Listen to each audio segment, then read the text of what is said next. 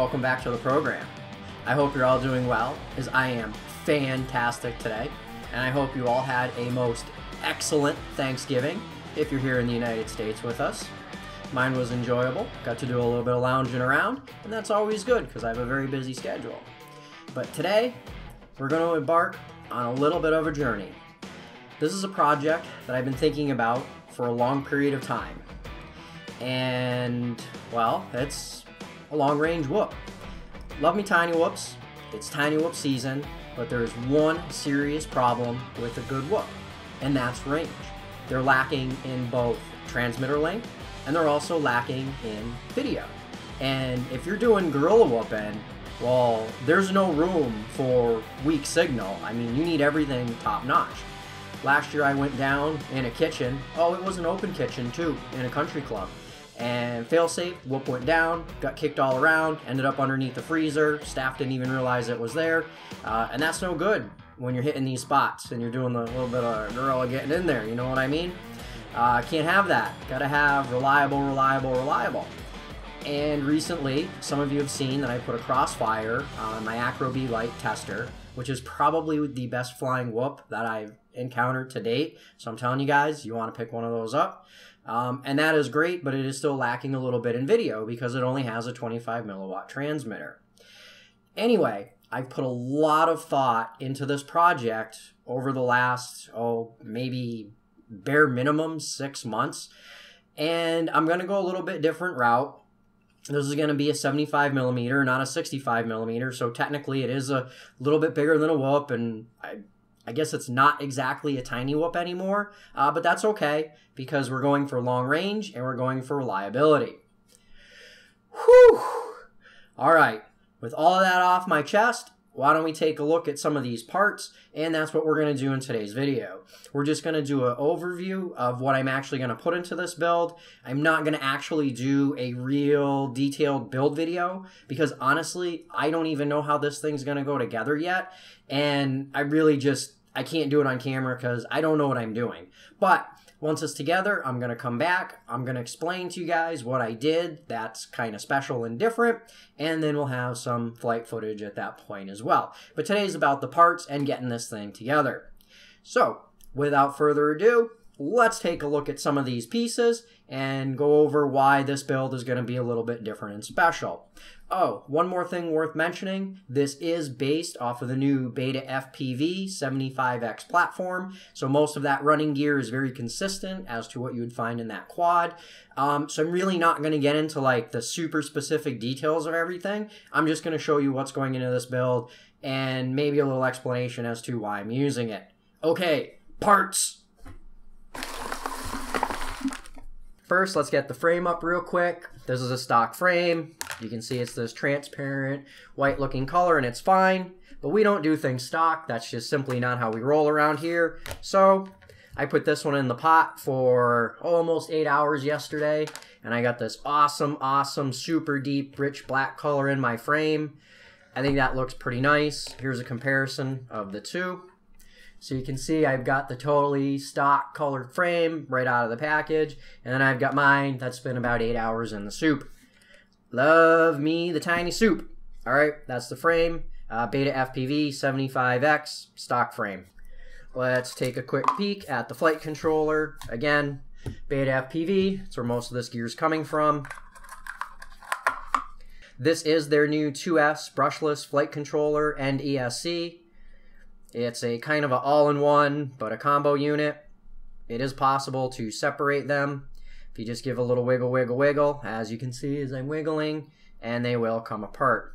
I don't think I'm going to completely take them apart right now because I don't have to, but you get the gist of it. It's pretty sweet. Comes stock with an XT30 cable. What else could you ask for? Uh, F4 processor, uh, full UART, uh, smart audio. This thing's got all the bells and whistles. Also OSD. Gotta have OSD on long range. No doubt about it. Gotta keep an eye on the batteries. Next, I got some motors. Again, from Beta FPV. Look at these little guys. Woo! Whoops, I dropped it. That's how small it is. Alright, so these are the Beta FPV 1103. Uh, what are they? 11,000 kV. 1.5 millimeter shaft. So you either need uh, the special Beta FPV props. I'm gonna rock these pinkies. Uh, these do have a hole for 1.5 millimeter shaft, or if you have other 40 millimeter props, you can always drill that hole out. Uh, be careful if you're drilling prop holes. I think I'm going to do a video on that in the future to show you how you can use almost any prop on any motor, but whatever, that's down the road. So, tiny little motors, pink props, cool stuff.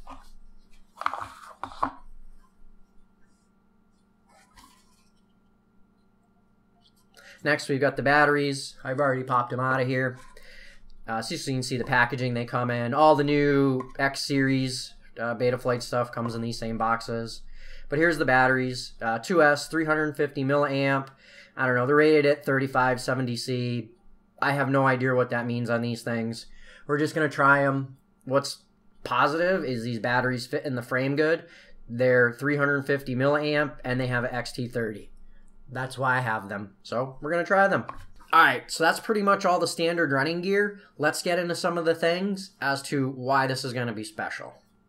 First up, number one item, Serious Toys from Team Black Sheep. This is a Crossfire Nano receiver, and I'm going to slide it out of here really quick like. We'll take a peek at it so you can see how small it really is. So you get your standard antenna, which is actually perfect for this type of build. I'm going to wrap it around the duct, and you'll see how I'm going to do that. It actually comes out pretty slick. We've got the actual receiver here.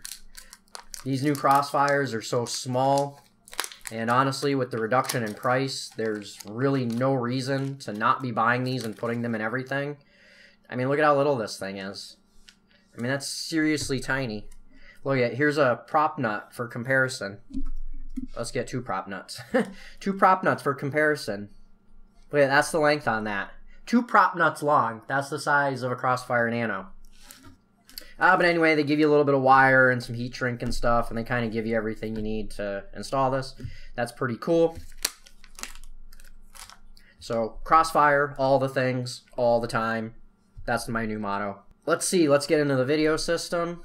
So RunCam Nano, I've never tried one of these. Uh, to date, RunCam has been my favorite, but I'm going to let you in on a little secret. I recently purchased a couple of the Falkors with the Black Friday sales, so I'm really curious to try those. But in a tiny micro build, this is probably one of the better options I've seen so far.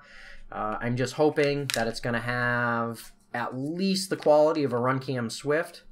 If it does, I think that's going to be pretty good for one of these little buggers.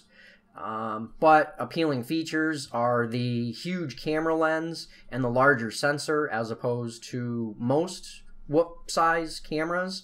So I'm kind of curious. I hope the video quality is really good on this. Okay, getting into video transmission. Again, another kind of special item here. This is the ready-made RC Nano Cricket.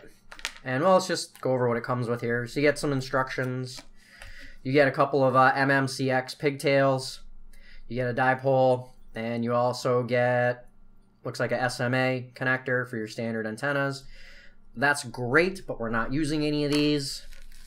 I'm going to show you why in a second here. Let's pop this baby open. Super, super small. Let's get the prop nuts out for size. And look at this. This video transmitter is legit less than two prop nuts long. Look at how this thing is so tiny. I mean, just look at my thumb for comparison. I have small girl hands, and it's it's like the size of my thumbnail.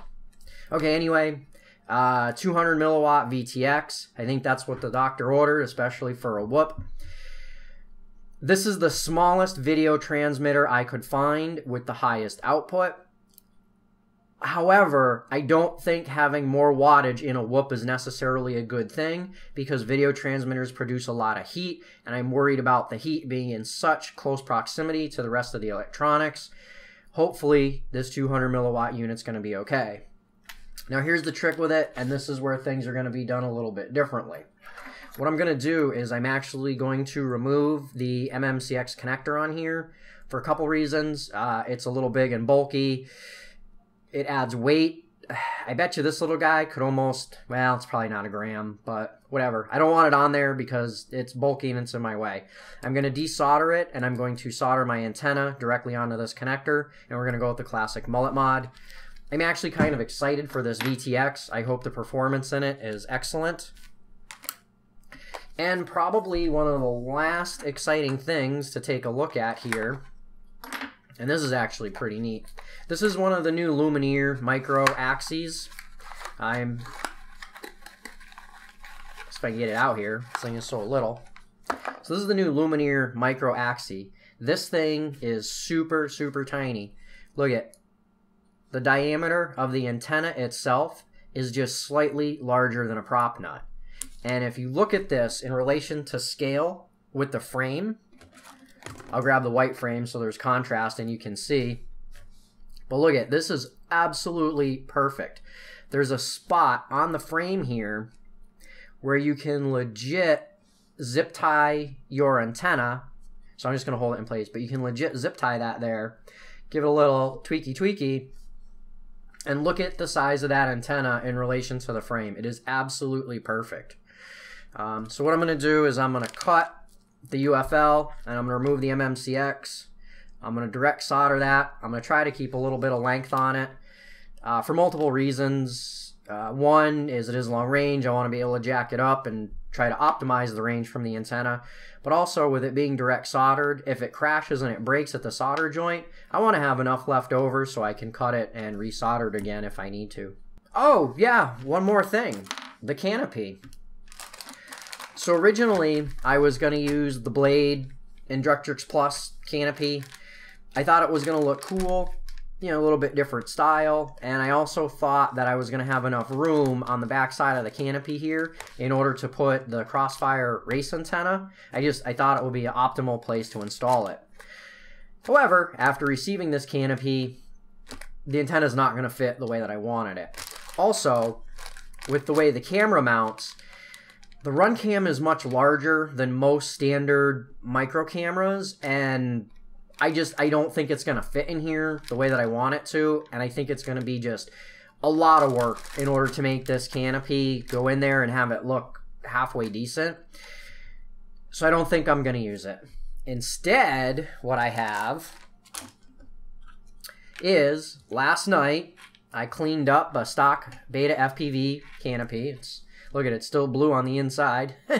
um, but I gave this a super sexy, oh, this metallic gunmetal. I don't know if the video is even going to give this paint justice, but I'm going to wiggle it and maybe you can see some of the shimmer in it.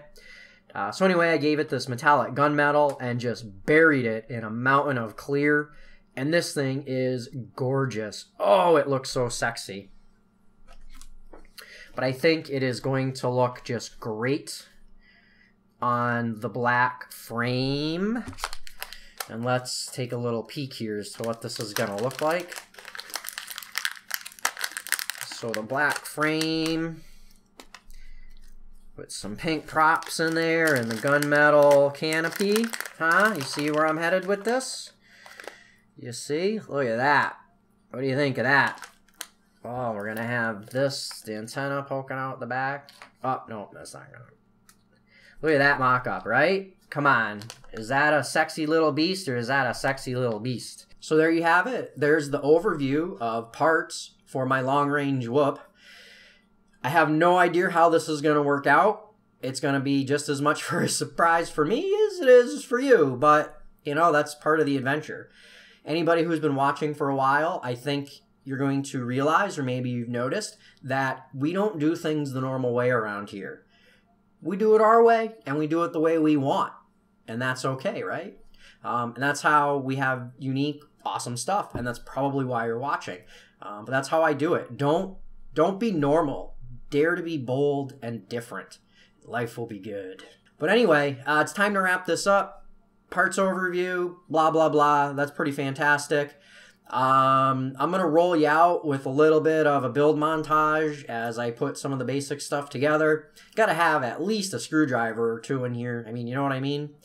Um, okay, so this is the last time I'm going to say it. That's it. If you guys can, check out my sponsor, Hot Dog FPV at hotdogfpv.com.